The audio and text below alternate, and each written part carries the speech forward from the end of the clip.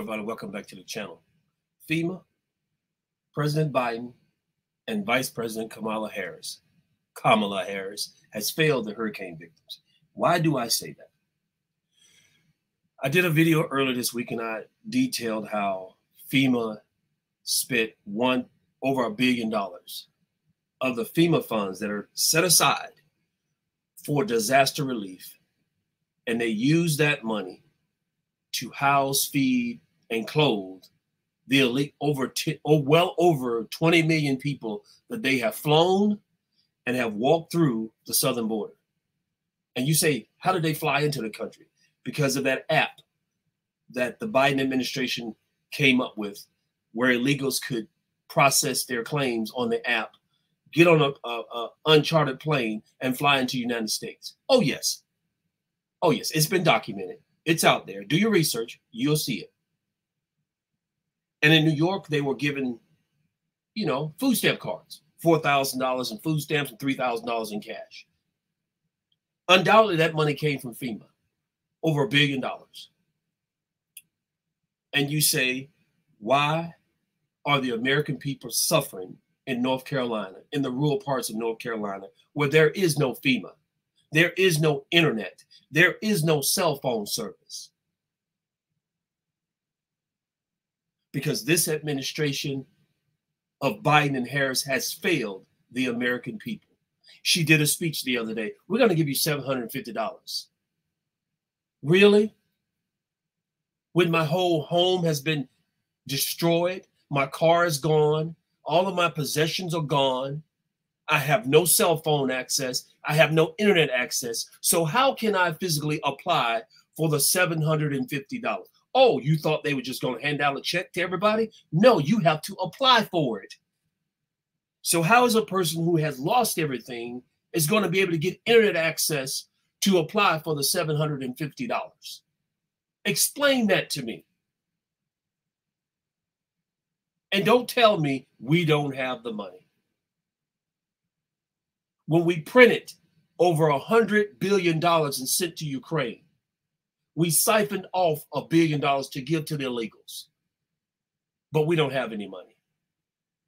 This is one time I would say print some. I was about to say something I shouldn't have said. Print some money and get these people the help that they need because they are an American citizen. They're the ones who need the help. They have paid their taxes. They have paid into this federal government month after month, year after year. And FEMA was set up primarily to help in situations like this. Way back in the 70s, FEMA was set up primarily hurricanes and uh, out in California when you had earthquakes and it destroyed a lot of stuff. FEMA was supposed to come in, get set up, and start issuing out supplies and helping those people in time of need. I mean, FEMA should have everything bulldozers, uh, generators, helicopters, trucks, or, or they contract all this stuff out to help these people. All that stuff should be readily available to FEMA. So when situations like this happen, they got boots on the ground prior to the hurricane hitting, and they're ready to go when it passes by. They can get in and start helping the people. Florida is better situated to help their people because they have to deal with hurricanes for the entire hurricane season. North Carolina, way outside of the sphere of primarily hurricanes, was not prepared for this type of catastrophic hurricane. Well, the aftermath of a hurricane, the high winds and the rain that came along with it after it passed through Florida. And I guarantee you 100% None of their insurance policies covers natural disasters, especially floods. You have to have flood insurance in order to be covered. If something happens in my home, it has anything to do with water, I had to add that type of policy to my insurance policy to be covered. Like if the city backs up and it comes into my house without that additional addendum added into my uh, homeowner's insurance, I would not be covered.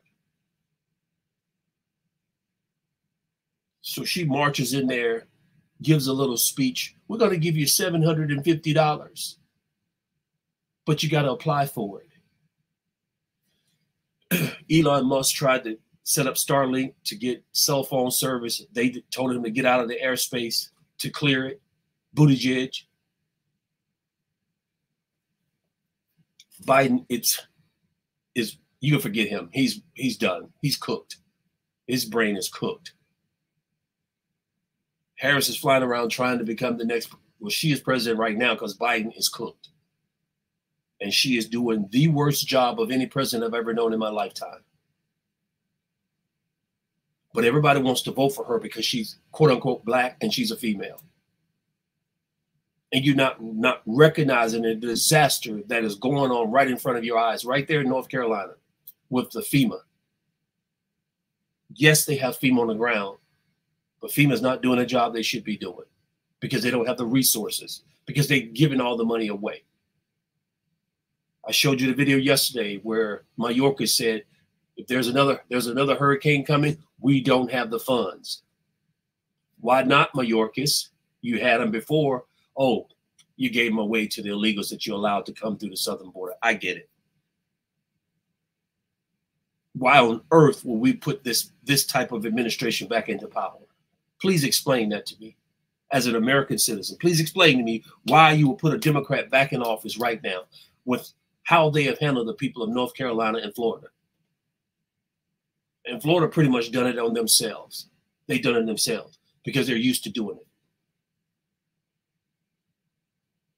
but you got people coming, individual citizens from the outside the state coming in to rent, give supplies to these people. You got President Trump on the ground giving supplies. You got a congressman who's not even Cory Mills, who's not even a, a part of this particular area that was affected, is giving supplies to this area.